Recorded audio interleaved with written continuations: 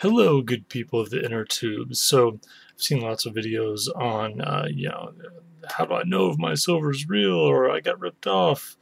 Um, I think, you know, a decent video needs to be put together. Um, that's so very easy to tell with three, three tests. And I say three tests, and I'll do those shortly. And of course, you know, the Chinese will probably see this and then uh, figure out a way to beat me. But you just can't beat three tests. You just percentages get very very low. Um, so let's just get started. Um, I have a shitty camera, so you might not be able to see everything here. Um, but you can obviously probably tell what that is.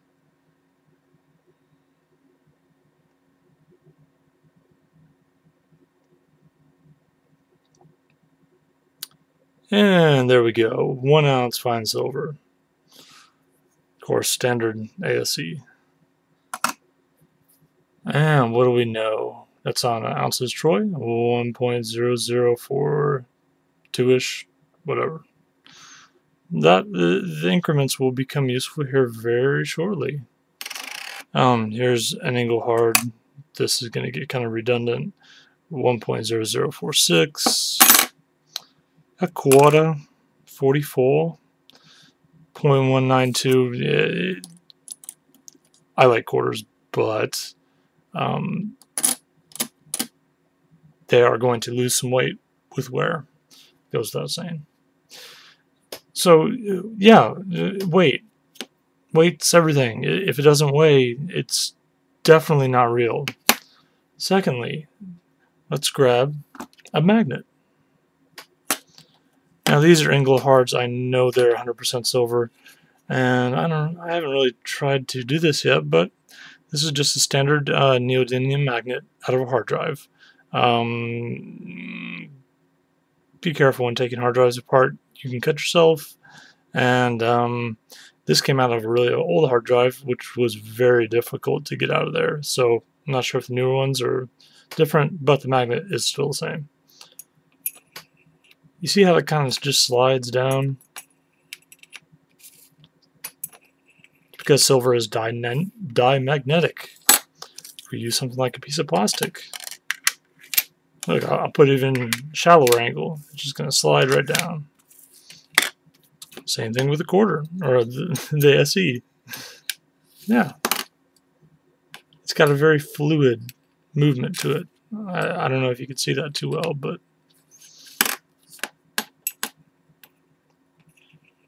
you'll know what to expect. Um, after doing this once or twice, it will become very, very apparent how to use this. Okay, so there's test number two. Test number three, we're going to grab our scales again. And do you notice I've only used two things that you really would need to obtain. Scales and this neodymium magnet. However, there's a third ingredient here. Um, it's very, very difficult to obtain. A plastic cup. Yeah, that's what I'm going to use here. Anyways, we need to do some initial uh, readings. You're not going to be able to see what my calculator is doing. Can't get that in the picture. Whatever. Deal with it.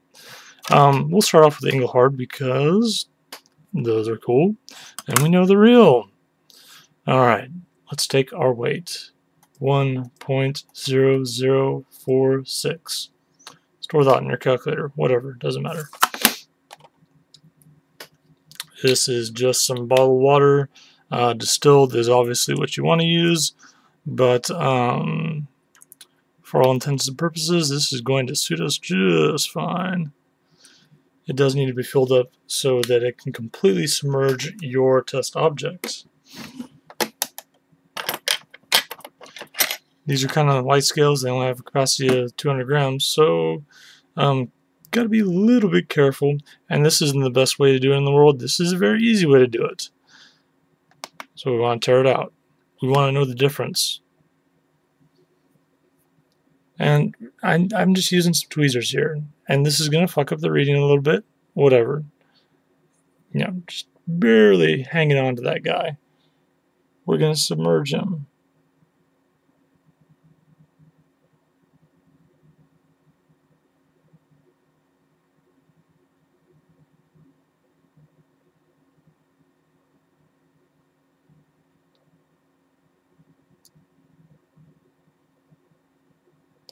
And I'm saying 0.095 is what I'm going to use. So I'm simply going to divide the 1.0046 divided by 0.095, I believe is what I said. Now, uh, silver has a specific gravity, and that's what we're measuring here, of 15.5. I'm sorry, 10.5. And yes, that turns out that weighed in at 10.57. Tweezers probably had something to do with it. Me shaking and not being perfectly steady probably had something to do with it. Let's try out, try out, um, say a Morgan. Why not?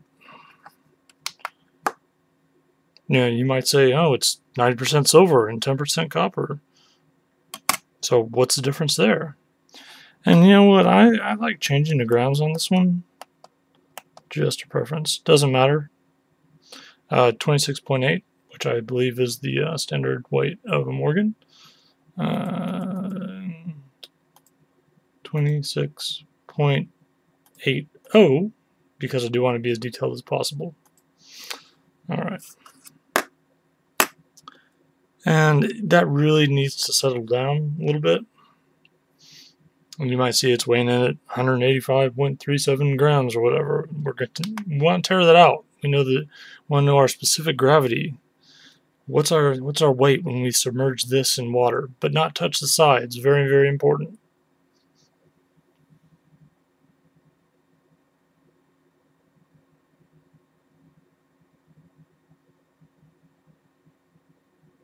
So I'm getting about 2.58. Let's see what that is. So 26.8 divided by 2.58, 10.38. Interesting. Well, why is it lower? Hmm. How, how can we figure out such a thing? Well, let's take something very simple and I really want to prove to you that this is real. It's a real penny! Yeah, I know, shocking, right? But the most important part is not focusing. There we go. 1981. This is a copper penny. 95% copper, uh, 5% zinc. So let's weigh them. 3.1. This could be a little bit more difficult and 3.10 actually so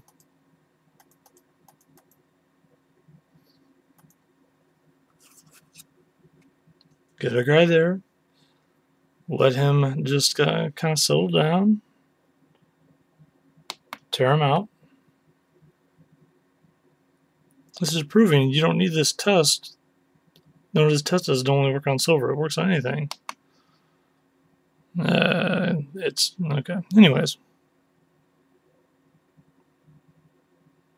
0.36.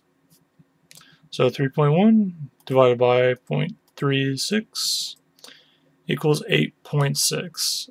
And the specific gravity of copper is 8.89. Okay. Um, so you can see it's pretty accurate. Um, I, I, I really don't have anything else to say. If if you're if your metal in question can pass those three tests, I think you're good. Um, yes, you could potentially make a, a, mixture of a lead, which I think is diamagnetic. Um, but lead is a lot heavier than silver. Well, not a lot. I think the specific gravity, uh, what is it? It's 11.35 versus silver's 10.5. So there's a difference. You could offset that by mixing it with another metal but you'd be able to tell really easily because you have to use so much lead that your other metal, um, you'd have to use so much lead for it to be di diamagnetic. If it was, that your other metal, um, it would have to be really specialized and probably wouldn't work. Um, yeah, you can break out sizes uh, and do whatever with calipers, which definitely do if you have them. But I'm showing you things that I got for free, the magnet, and a scale that costs 15 bucks on eBay. Hope you enjoyed.